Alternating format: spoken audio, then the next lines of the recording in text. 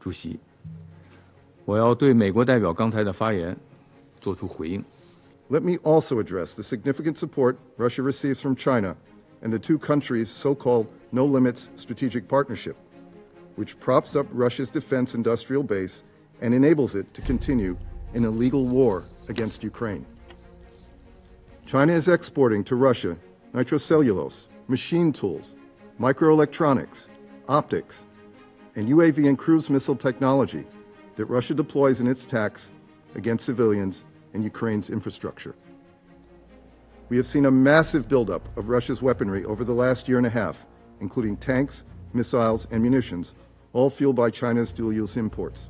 中方不是乌克兰危机的制造者，也不是当事方。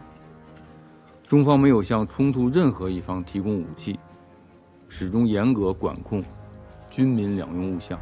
中国企业按照世贸规则和市场原则，同包括俄罗斯、乌克兰在内的世界各国开展正常的经贸合作，合理合法，无可指摘。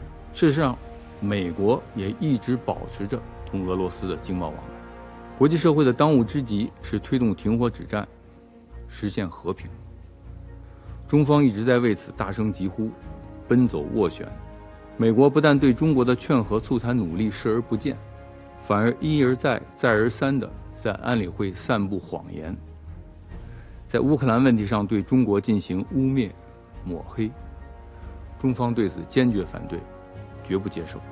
我们要奉劝美方，如果真心想要结束战争，就应该同包括中方在内的有关国家一道，做出努力，而不是。甩锅推责，制造对立。The representative of the United States has asked for the floor to make a further statement. I give them the floor. Uh, thank you, Mr. President, and I will be brief. I will just say, as I've said many times in this chamber, I will continue to call out those countries, including China, uh, that provide support to Russia's industrial base. Uh, I will cease those calls uh, when that support terminates. Thank you, Mr. President. I thank the representative of the United States for their statement. The representative of China has asked for the floor to make a further statement. I give them the floor. 主席，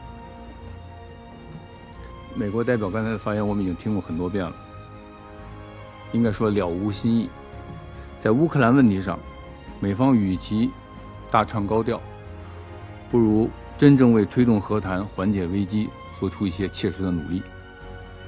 我们呼吁美国代表，在这个大厅里停止无聊的指责游戏。Don't bark up the wrong tree. Thank you, Mr. President.